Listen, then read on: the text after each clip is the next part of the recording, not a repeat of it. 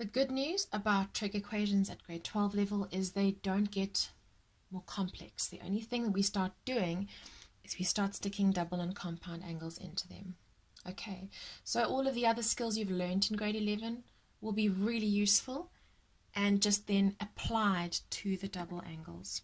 Okay, so with double angles, there's always the question of to expand or not to expand. And I think we'll, with more, with lots of practice, you'll start seeing when to do that and when not to. Really helps to know the double and compound formulas off by heart because then you start recognizing them a lot quicker.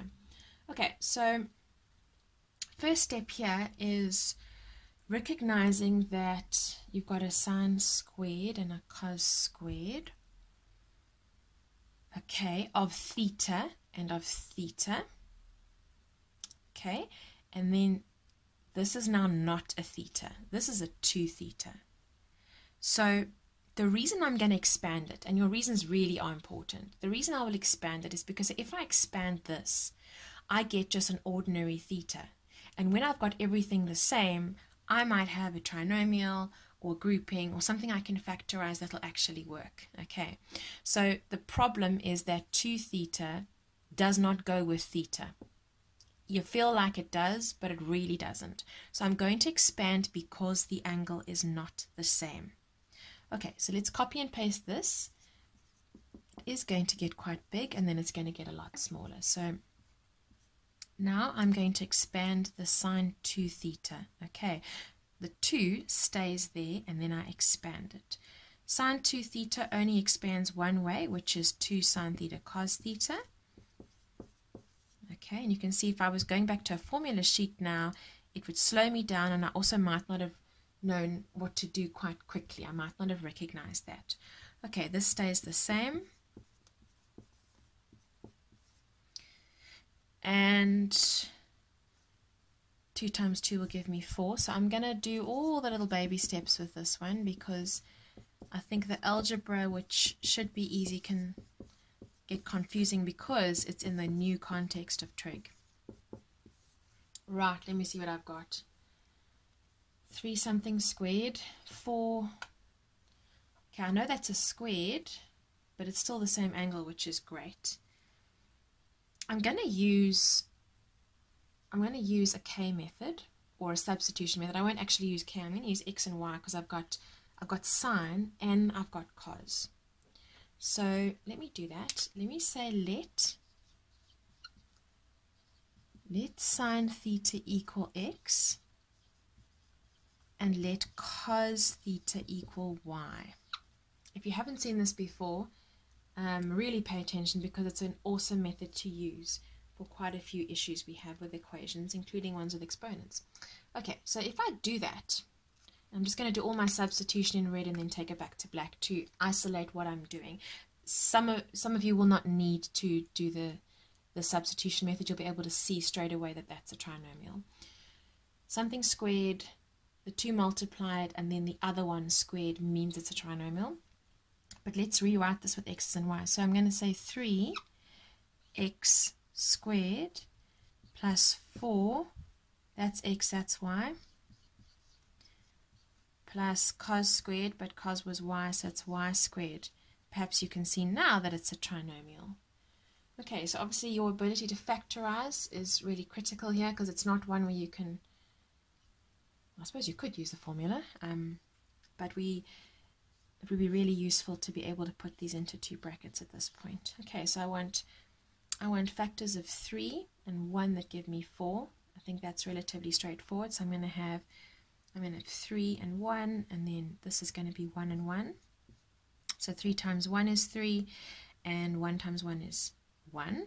So I've got 3 and 1. I have to add them and then they're both going to have the same sign just to revise the factorizing stuff.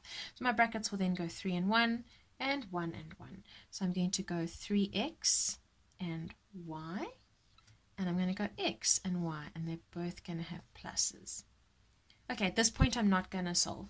At this point I'm going to go back and substitute in what I originally changed. So now where I've got an X, I'm going to stick the sine, and where I've got a Y, I'm going to stick the cos. So subbing back.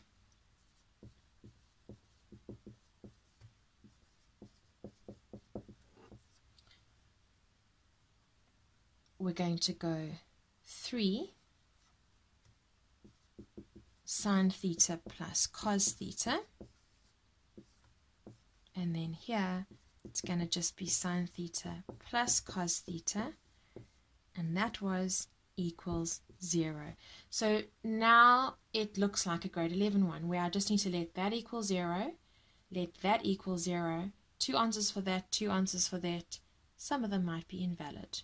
Okay, I'm going to go through that now. Okay, so using the zero factor rule, those are my two options. This should yield two answers, and the other one should also yield two answers. So I'm ending up with four. Or that's what I'm thinking right now. Okay, so let's start here. Um, I've got a sine and a cos. They both have the same angle, so this one is going to be one of those that makes a tan. I'm going to move the cos over, and I'm going to say 3 sine theta equals negative cos theta. And then I'm going to divide both sides by cos theta. Okay, so this will give me 3 tan theta, and this will give me negative 1. Then I want to isolate the tan theta, so tan theta will give me negative 1 over 3. So tan is negative. When I do my reference angle now, I'm going to shift tan just the 1 over 3, not the negative because what the negative gives me is it just gives me the quads. It's clearly quad 2 and quad 4 because tan is negative. Right, when I shift it, I get a reference angle of 18,43 degrees. Okay, but now this thing is a tan. And when you have a tan, you don't need to go quad 2 and 4 because the one includes the other one. So I'm going to do it all in one. I'm going to say, okay, well, quad 2 and quad 4. You don't even need to say that. I'm just writing it so that you understand I'm dealing with the same thing. Okay, so I'm going to say in quad 2 and 4, I'm going to have theta equals 180 degrees minus the 18,43 degrees plus k180, which gives me the quad 4. Okay, so that just gives me Theta is 161,57 degrees plus K 180. Back up to the other half of this. We have sine theta plus cos theta 0. So again, I'm going to move the cos across. And I'm going to say sine theta equals negative cos theta. I'm going to divide both sides by cos theta. This is also going to be a tan. And the reason it's going to be a tan is because the angles are exactly the same. So that will give me a tan theta, and this will give me a negative 1. Okay, now I'm going to shift the 1, but what I know from that is tan again is negative, so it's quad 2 and 4, but I know because it's tan, I'm just going to do them together. So my reference angle will be 45 degrees. Okay, which isn't one of my answers because I'm supposed to be in quad 2 or 4. So I'm also going to do these guys together quad 2 and 4 together and I'm going to say theta is 180 minus my reference angle plus k 180 so therefore it is 135 degrees plus k 180 right k is an element of integers. Okay so when you see a double you should expand it no, not always. Let's look at this example. Now, it might have been a while since you've done these. And I think I've just given my secret away there by saying that. There's a double angle. Okay, now just imagine all of the different ways in which you could expand this thing. There's three of them. And then look at that angle. Now, how am I supposed to know that this does not involve expanding? And here's your secret. The one we just did had a sine squared and a cos squared in it, and then your expanding of the sine double angle gave you sine and a cos, which gave you the trinomial. So this is all about recognizing the patterns. Here, you've got a totally different thing. Like there's no way in which this is ever going to make that. If you had sine theta on that side, absolutely expand this because it'll give you sine, th- sine thetas and cos thetas, and you'll just have theta by itself. It will be squared, but you'll have theta and theta. But there's absolutely no way you're going to get the angles the same, and that's one of the agendas with trig equations. Okay, so you may recognize this from grade 11 work as one where you've got to do a cofunction. So the whole point here is your 2 theta cannot be expanded to get you theta minus 60.